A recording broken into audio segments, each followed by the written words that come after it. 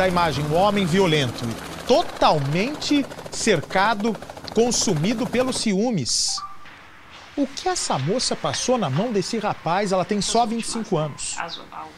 E ela demorou para cair a ficha que aquele amor não existia mais e o amor que o rapaz sentia por ela transforma a vida dessa moça num verdadeiro inferno. Veja comigo. As fotos mostram as marcas deixadas pelas agressões. Algumas são de golpes de faca. Foram três dias presa dentro da própria casa, sendo torturada pelo companheiro. Ele tinha é, relatado várias vezes para mim durante as agressões que iria tirar a vida do meu pai e da minha irmã. E aí eu fiquei com muito medo. Eu não, não podia fazer nada, não podia pedir socorro para ninguém. Ele colocou a faca no meu pescoço e falou que se eu gritasse ele iria me matar. Esta outra foto mostra o agressor. Tiago Gomes Alves, de 25 anos, faz o sinal de paz e amor com a mão. Uma ironia, já que ao fundo a vítima aparece deitada na cama e machucada. Além de trancar e agredir a companheira, que também tem 25 anos, Tiago cortou o cabelo dela, uma forma de mostrar poder e intimidação. Se eu não falasse nada para ele, cada vez que eu não falava, ele me agredia mais.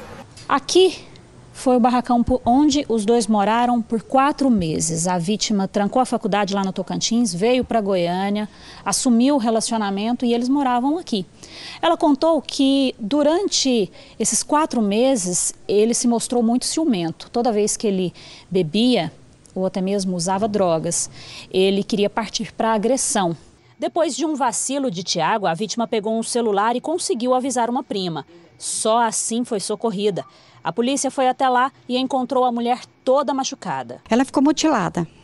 Ela ficou torturada demais da conta, toda assinalada de faca. A estudante contou que as agressões começaram faz tempo, quando ainda namoravam no Tocantins. Ela chegou a registrar um boletim de ocorrência, mas Tiago não respeitava a medida protetiva. Pulou o muro da minha casa diversas vezes, já arrebentou a porta da minha casa no Tocantins para entrar na minha casa para conversar comigo. E todas as vezes ele se fazia de vítima e eu acreditava.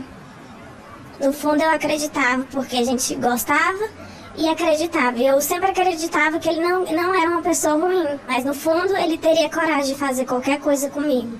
Tiago está preso na delegacia da mulher em Goiânia. Mesmo assim, a vítima tem medo e sonha com o dia em que poderá ter paz. Quem? Chuca. Não faz isso que ele fez comigo.